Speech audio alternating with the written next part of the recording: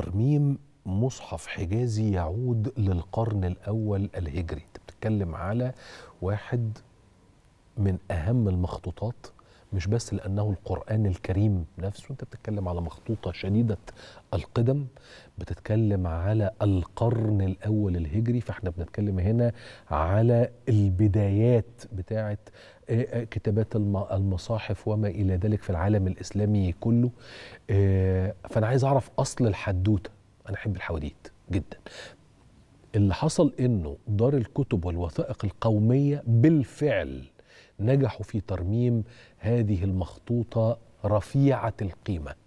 دكتور أسامة طلعت رئيس الهيئة العامة لدار الكتب والوثائق القومية أهلا أهلا أهلا أهلا.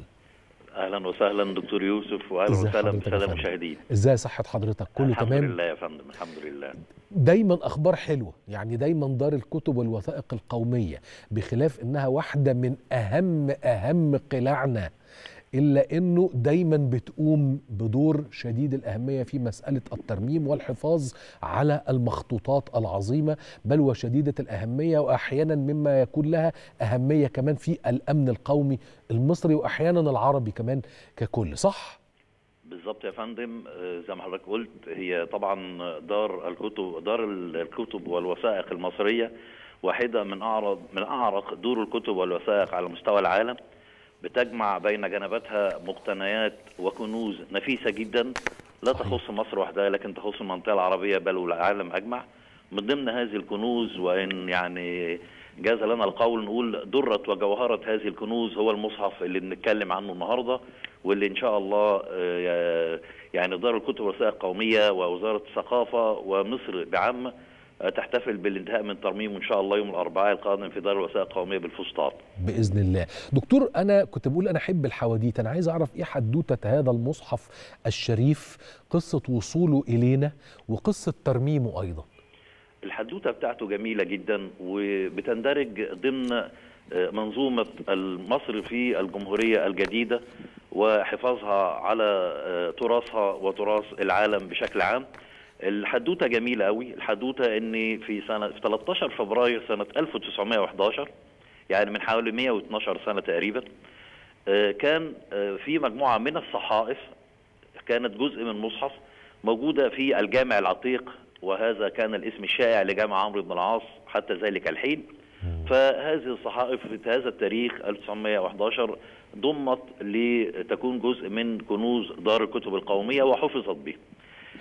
هذه المجموعة من الصحائف طبعا إحنا ما بنقول مصحف حجازي آه، باختصار وببساطة لأنه مكتوب بالخط الحجازي وهو واحد من اقدم الخطوط العربية ويسبق الخط النسخ ويسبق الخط الكوفي. ال- المصحف آه، ببساطة شديدة جدا يعني لن أكون مبالغا إن قلت إن هو بيرجع للنصف الأول من القرن الأول الهجري السابع الميلادي وده بناء على بحوث علمية وفنية. إذا يعني سمح لي الوقت إن أنا. افسرها بشكل بسيط. طبعا.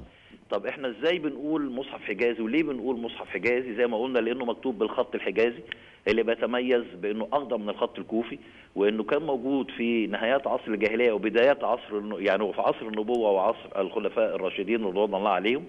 وهذا الخط بيتميز بحروف ألفات ولماته المائلة وده بيميزه عن الخط التالي ليه اللي هو الخط الكوفي وبالتالي ده التاريخ أو ده التحليل الفني اللي بنقول إن هو مصحف حجازي مبكر. يعني القرن الأول يمكن النصف الأول كمان من القرن الأول. طيب في حاجة تانية بقى بتقطع, الشك باليقين في تاريخه. الحاجة دي حاجة علمية تتعلق بالترميم. في ضمن أعمال الترميم بيتم لل آه، نوع من التحليل بنسميه التحليل بالكربون المشع أو كربون 14 آه. النوع ده من التحليل بيبين لنا تاريخ تقريبي لفترة تزيد أو تقل ما بين 30 ل 50 سنة عمر ال- ال- ال- التحفة اللي إحنا مم. فهذا المصحف إحنا عندنا 31 ورقة منه آه، بتشتمل على صورة آل عمران وعشر صور أخرى. آه، في ورقات منه سبع ورقات موجودة في برلين. في برلين عملوا تحليل كربون 14 عليه وأثبتوا أن هذا المصحف يعود لحوالي سنة أو بيرجع بالتاريخ لحوالي 1370 سنة من دلوقتي.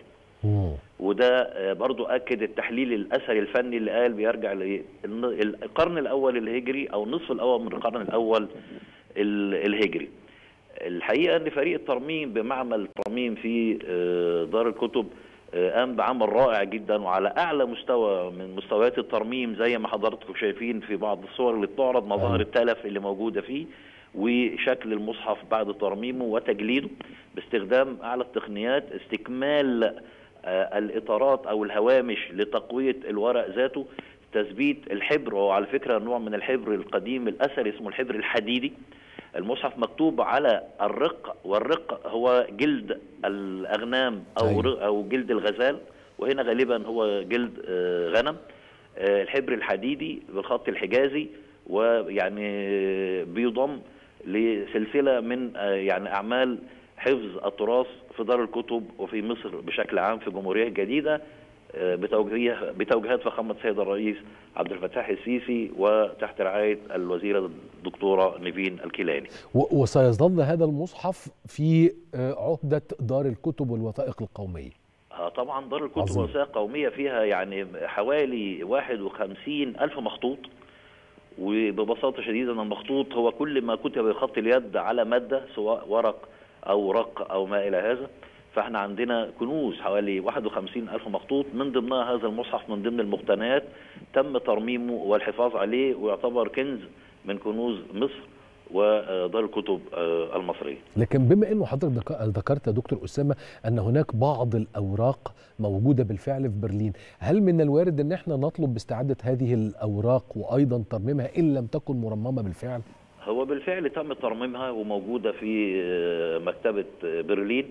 وفي بعض ورقات أو صحائف أخرى موجودة في أماكن أخرى زي جوتنجن وموجودة في جامعة برمنجهام ودي برضو تم عليها دراسات من العلماء سواء من يعني من إنجلترا ومن ألمانيا. وهنا إحنا برضو ليس يعني حبا في يعني الاستشهاد بالدراسات الأجنبية ولكن دراساتهم بتؤكد وتدعم تاريخ هذه النسخة النسخ المبكرة جدا جدا من من المصحف الشريف.